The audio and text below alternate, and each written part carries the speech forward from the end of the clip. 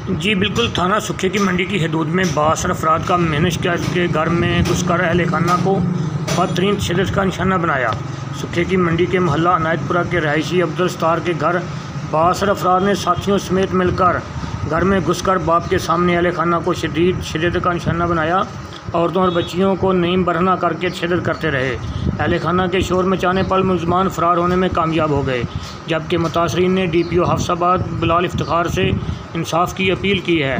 दूसरी तरफ़ मुलजमान के खिलाफ थाना सुखे की मंडी पुलिस ने मुकदमा दर्ज कर लिया है।